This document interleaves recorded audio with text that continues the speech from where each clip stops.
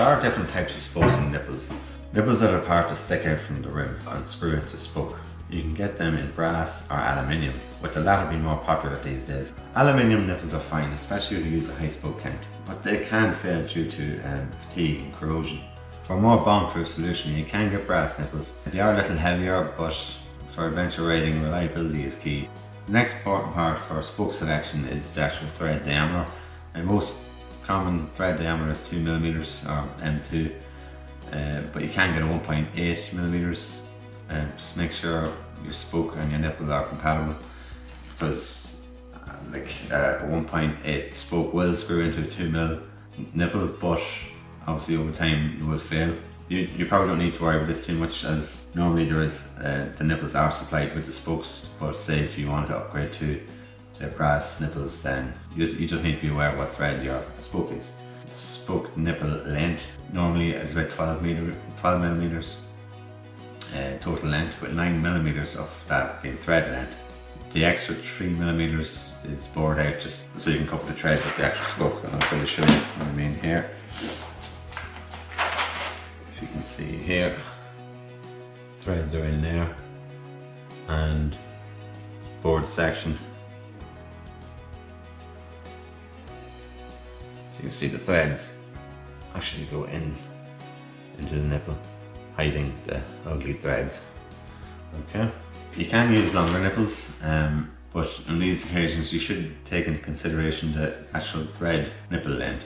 If the thread length is more than 9 millimeters, uh, then you would have to use shorter spokes. And also, don't assume that longer nipples automatically means that you have a longer thread. Some nipples just have longer bore section. So just be, be aware of that make sure if you're using a longer nipple and if the thread length is longer, then you would have to adjust your spoke length. So if you have a 12 mil thread length in your nipple, you would have to reduce your, your spoke length by 3 mil. Don't buy longer nipples just for the sake of it. The only real reason you'd buy them is if you're using carbon rims and with and a really thick wall. Um, another reason is you can't get the exact spoke length that you need, then you can have a longer nipple to make up the difference. But again, make sure the thread is longer, not just the nipple. Spokes. So spokes are just little rods that all the way together. Not much to them, right?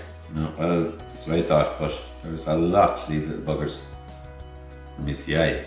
And uh, not all spokes are created equal. Obviously, you get you get what you pay for. If you're going to go a cheap brand, you're going to get bad spokes. First of all, it's the material. Um, most spokes are made from stainless steel. This gives good strength and corrosion resistance. Cheap spokes can be made of steel and then coated with chrome, but obviously these are much weaker and will rust over time. Titanium rods are another great option. Um, if you have the extra cash, they are a lot more expensive. The only downside to using titanium is that you will have to use brass nipples, so if you, you that weight saving with the titanium is counteracted because you have to go with brass. But saying that, if you were going to use brass nipples anyway, this will make a bomb-proof set of wheels. Titanium rods, brass nipples, it's going to give you great comfort and will be very reliable. Um, some people ask me about the spoke gauge. This basically means the diameter of the spoke. Most people don't use gauge anymore. They will use the actual size in millimeters. A 13 gauge is 2.3 millimeters, a 14 gauge is a 2 millimeters, a 15 gauge is 1.8 millimeters, and a 16 gauge is 1.6 millimeters. Next up is spoke profile. A straight gauge spoke is a simple spoke that has the same circular profile from the hub to the rim blade profile are the most aero of all spoke designs. They have a flat section along the middle of the spoke and that slices through the air as it turns. The only issue I have with them is that they're hard to lace into, the rim. A butted spoke. Butted spokes basically means that they have different diameters along the length. A single butted spoke have a large diameter near the hub, but taper to a regular size spoke for the remaining length of the spoke. This is generally used for bikes that carry heavy loads. You just have to make sure your hubs have a larger holes to accommodate them. Double butted. Double butted spokes are basically the same as a straight gauge spoke but have a narrower section in the middle. The common size is for 2 mil on the other side and then 8 1.8 in the middle.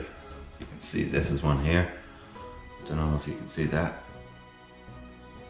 Put it down and put up again. Triple butted.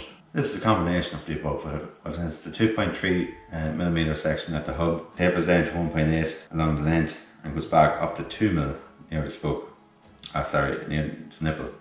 These differences along the spoke have been created by a method called cold rolling. by using this method, they, they can achieve the same tensile strength as they would have been with a thicker diameter. And you just have to make sure when you're actually putting the wheel together that when you're tightening the nipple that you don't start to wind the spoke. So just be careful when you're twisting the nipple and screwing on, but you're not actually twisting the spoke at the same time. Next up we have either a straight or J spoke. Um, so a J spoke will have bend in the bottom of it, like a J, and straight spoke will just have that, this section here on the end. So obviously it's, it's pulling straight. Um, some say that you can actually get more, you can actually get a stiffer wheel with a straight pull, but this isn't true. Um, technically you can pull more with a, with a spoke, but in regards to being in a wheel, both the J-bend and the straight spoke will actually pull out the nipples out of the rim before they reach their tensile strength. It's inadequate really. Both the J-bend and the straight bend are set to the same stresses. That, that leads me on to um, spoke crossing.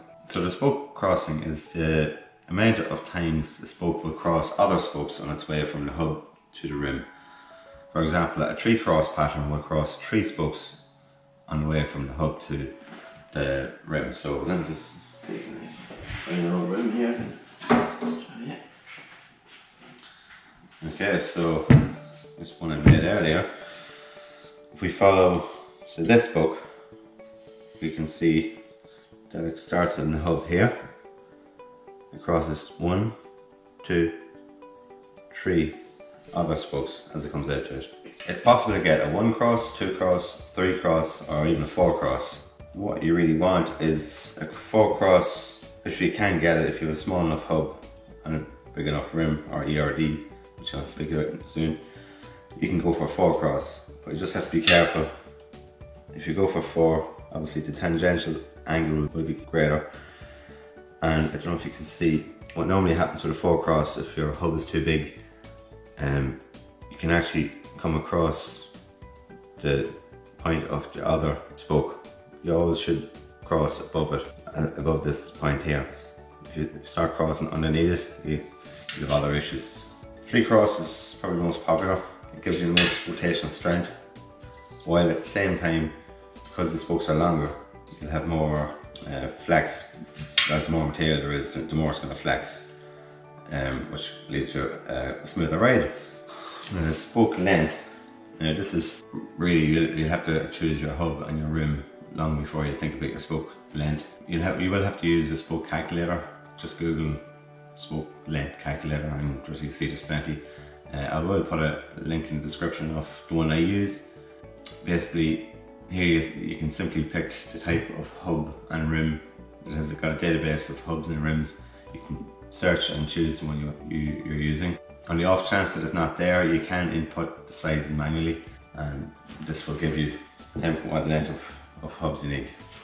If you do have to put in the dimensions manually, you will need to know um, whether or not you're using disc brakes or not. You need to know E or D, so your effective rim diameter. Um, this can be got from your supplier. You'll need to know your pitch diameter.